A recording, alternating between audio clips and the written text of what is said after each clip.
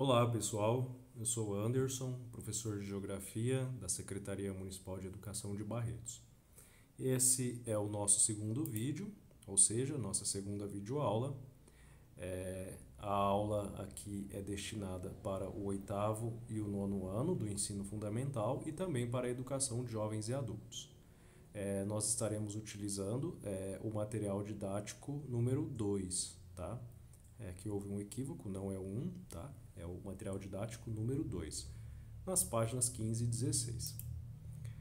Na aula anterior, nós estudamos sobre a identidade e a formação do povo brasileiro, né, através da escuta de uma música, e também conversamos um pouquinho sobre as zonas climáticas. Na aula de hoje, nós vamos voltar a falar das zonas climáticas e também vamos procurar compreender o que são paralelos e meridianos e também a localização do Brasil no continente americano.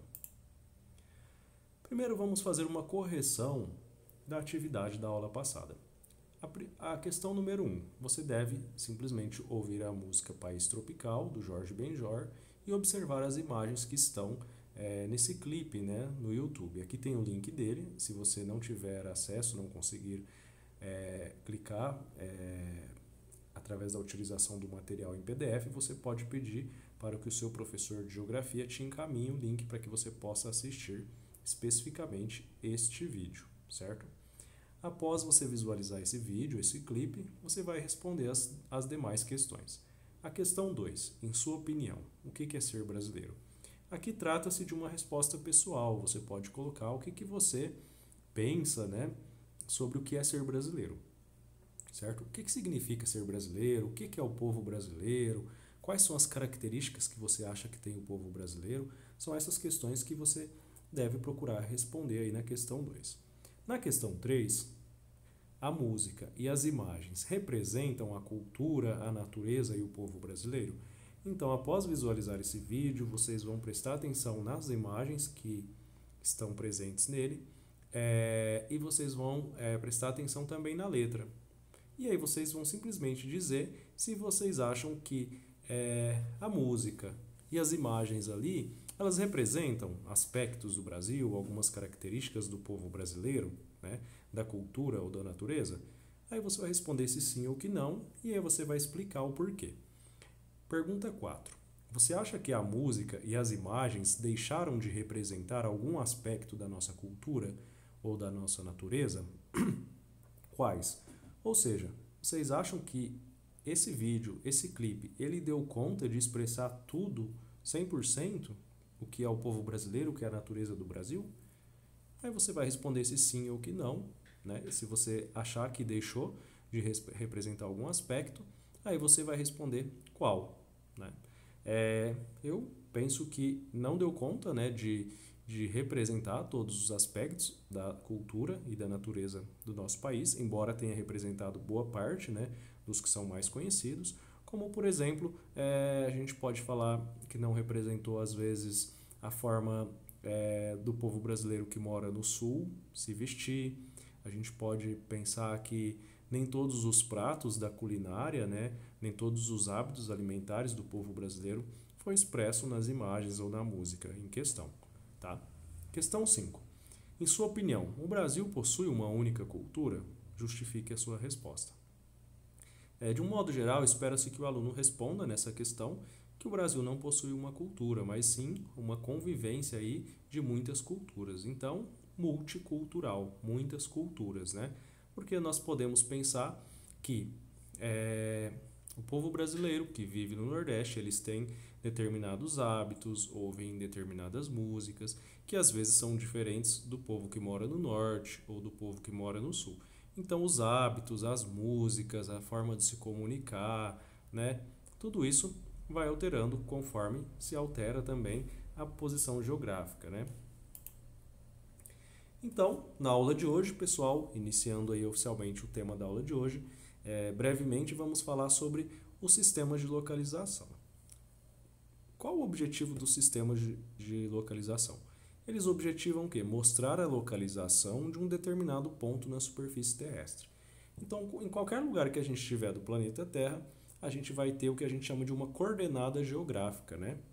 que é aí, entre aspas, né, um cruzamento do meridiano com um paralelo, vai dizer em que graus aí, né, em que intersecção de um meridiano com um paralelo que a gente se encontra é, no planeta.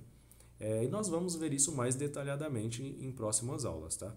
Então, o mapa, não sei se vocês já observaram, mas eu trouxe um aqui para que vocês observem. Já olharam que os mapas normalmente eles têm linhas verticais e horizontais? Observem só. Olha só, uma sequência aqui de linhas paralelas horizontais, né?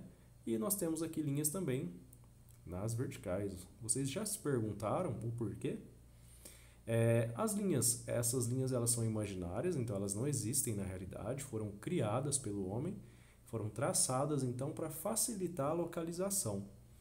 As verticais, elas vêm desde o polo norte até o polo sul, e as horizontais, elas dão uma volta completa ao redor da Terra no sentido leste-oeste. Essas linhas elas recebem os nomes de paralelos ou meridianos. Agora nós vamos olhar para os paralelos. Os paralelos, é, eles dão uma volta completa em torno da Terra, a gente acabou de dizer. O principal paralelo ele é chamado de linha do Equador. Essa linha aqui na cor vermelha que vocês estão observando. Essa linha imaginária ela divide o planeta na metade, metade acima e metade abaixo. A parte de cima ela fica então ao norte, e ela é chamada de hemisfério norte. Então, tudo que está acima da linha do Equador, todos os países, todas as localizações acima da linha do Equador, estão situadas no que a gente chama de hemisfério norte ou setentrional. Abaixo da linha do Equador, hemisfério sul ou meridional. E qual a função aí dos paralelos? A principal função é determinar a localização e eles também são úteis para compreender as zonas térmicas, como nós vimos na aula passada e nós vamos voltar a falar sobre as zonas térmicas na aula de hoje. É, então, nós verificamos os paralelos. Nós temos é, paralelos é, que são, é, por exemplo, acima do, da linha do Equador, nós temos aqui o Trópico de Câncer, o Círculo Polar Ártico, e abaixo da linha do Equador, nós temos é, o Trópico de Capricórnio, o Círculo Polar Ártico. Né? São os principais, né? existem é, outros também.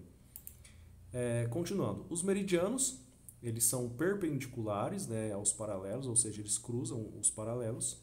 Também do Polo Norte, eles são, na verdade, do Polo Norte ao Polo Sul, então eles não dão uma volta completa no globo.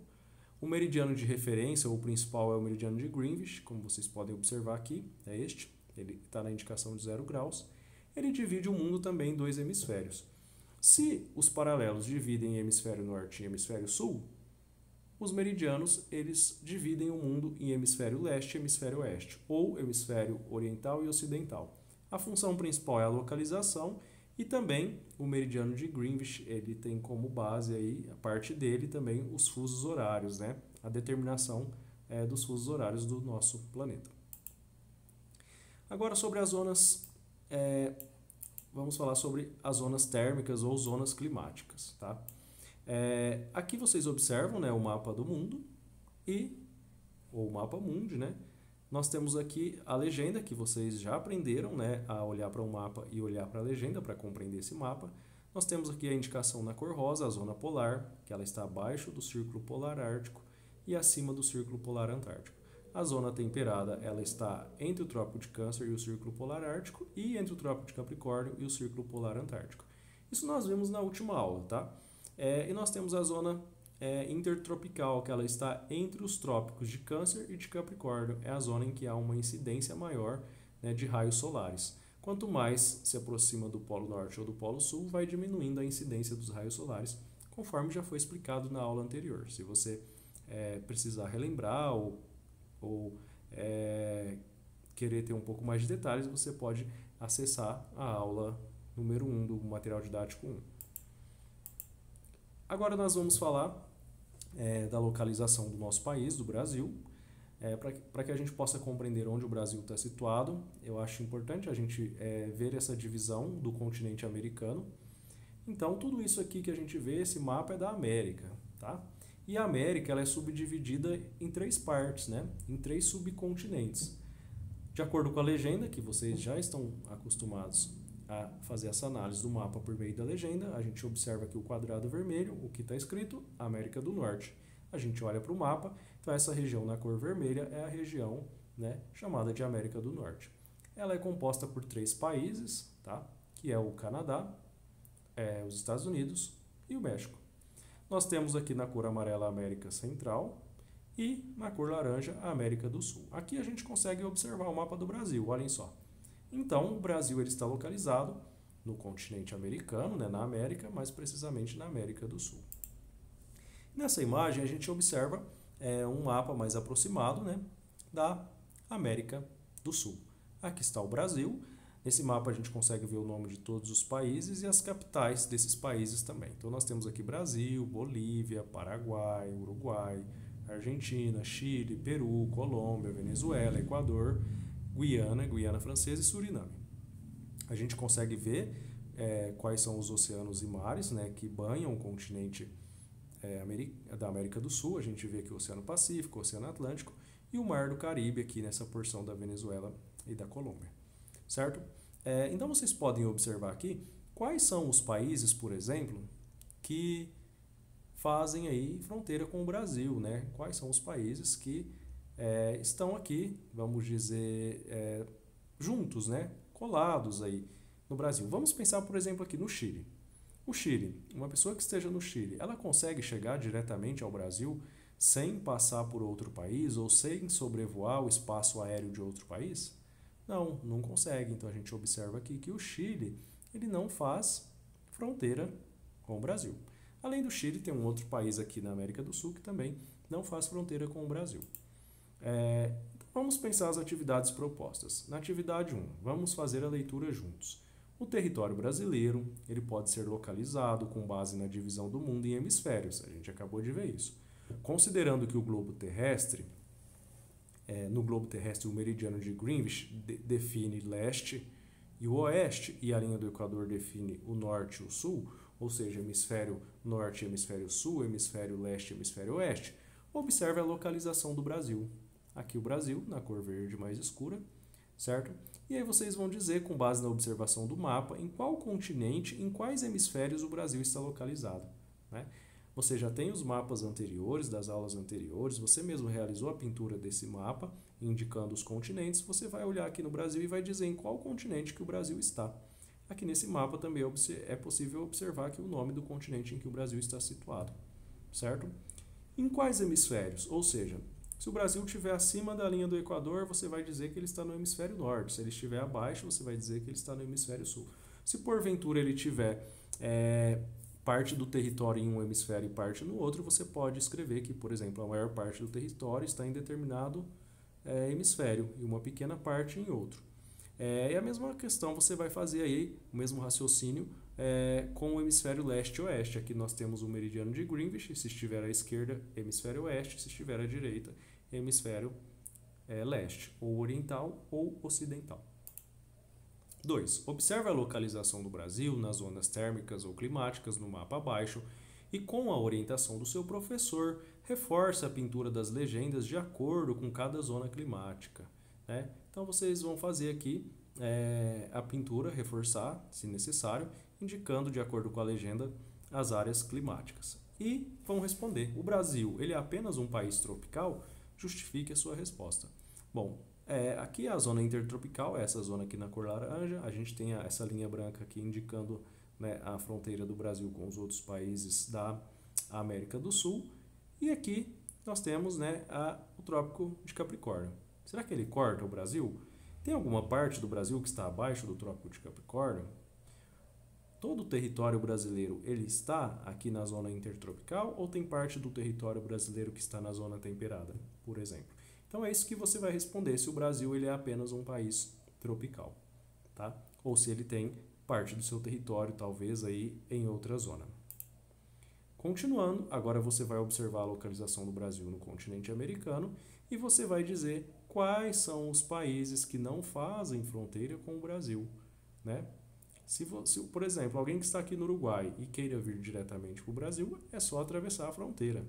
Existem dois países aqui na América do Sul em que isso não é possível, que para sair desse país, para chegar ao Brasil, tem que se atravessar ou espaço terrestre ou espaço aéreo de outro país.